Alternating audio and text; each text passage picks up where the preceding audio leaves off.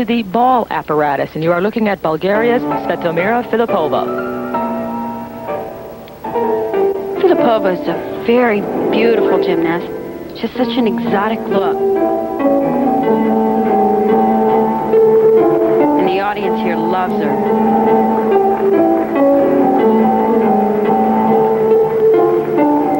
She reminds me of a ballet dancer. She really has a feel for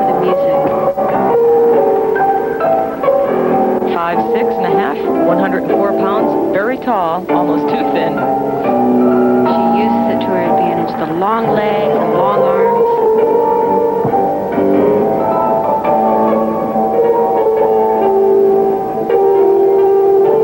She has a great turning ability. All her turns are performed high on the toe. Beautiful catch in a back scale, showing that flexibility.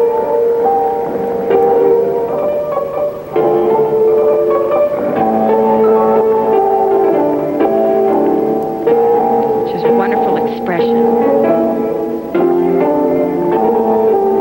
There's a double roll during the toss and catches on the floor. And has to take her eye off the ball to execute those rolls. A very difficult combination.